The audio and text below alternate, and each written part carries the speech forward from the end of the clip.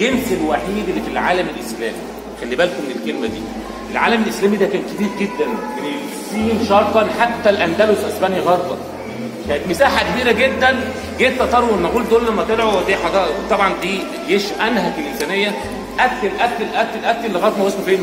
دمر دمر حتى الخلافة العباسية وبغداد. 45 دماء 45 يوم من الدماء جواها. لغاية ما وصل فلسطين خلاص هو داخل على مين؟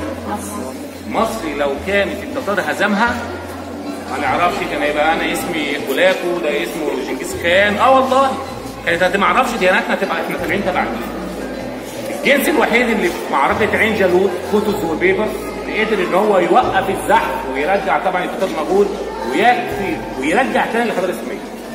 تطول في الحتة دي تسمعوا عن المؤرخ ابن الأسير ده عالم كبير مؤرخ كبير جدا. ده كان معاصر الأحداث وكان بيكتب دور المؤرخ إيه إن هو يكتب لنا الأحداث يوم بيوم توقف عن الكتابة في الفترة دي وبعد هزيمة المماليك التتار والمغول في عين جالوت سألوه يا ابن الأسير أنت ليه ما كتبتش الأحداث وما يعني أنت ليه من الأحداث الأيام دي ما دونتهاش عندك مذكراتك؟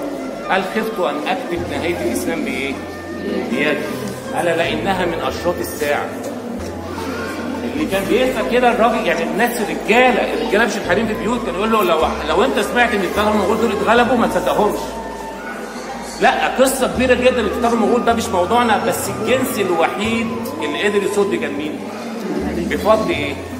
التعليم بفضل الفكر بفضل النشر وديت رسالة من ضمن الآثار الاثر زي ما قلت لكم رسائل إن ابننا ده شوف أنت هتنشئه على إيه وهتطلعه إيه وهتزرع جواه إيه وهيستخوا معرفته منين خلي بالك.